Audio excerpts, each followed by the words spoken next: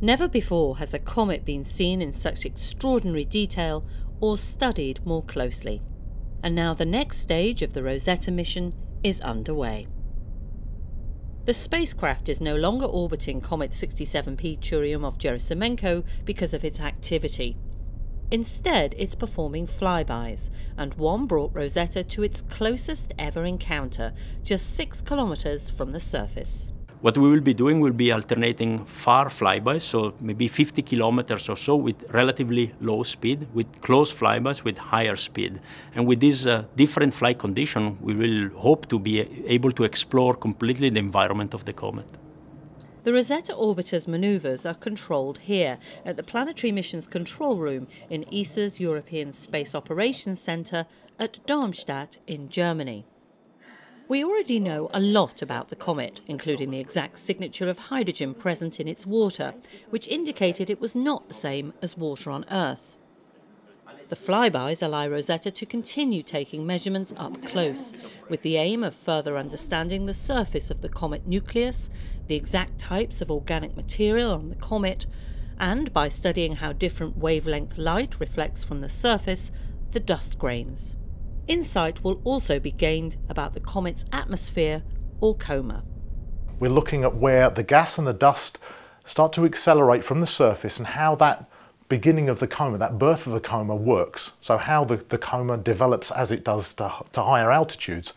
This region has only ever been theoretically constrained or modelled.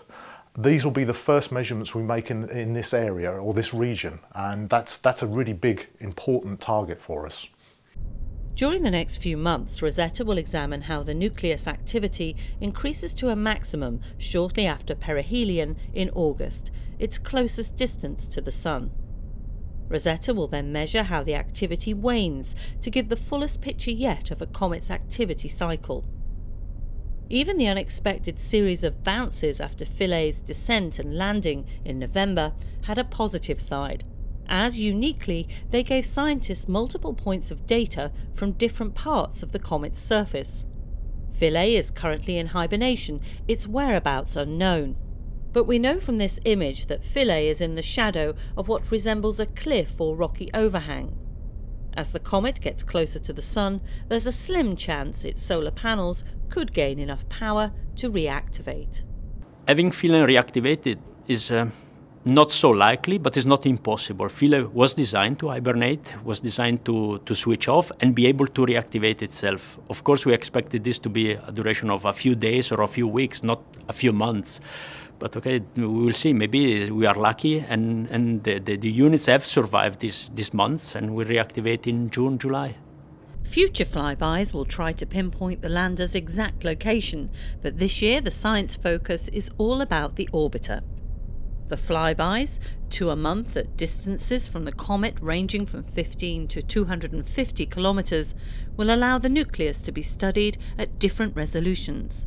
Rosetta will also be able to observe how the coma interacts with the solar wind. So far, Rosetta has only mapped about 70% of the surface because the comet's orbit and rotation kept certain areas in darkness. This year, new regions will come into view, alongside new activity on the surface. And in the summer, the orbiter will be in a unique position. The comet will be at the peak of its activity, and Rosetta will have a ringside seat.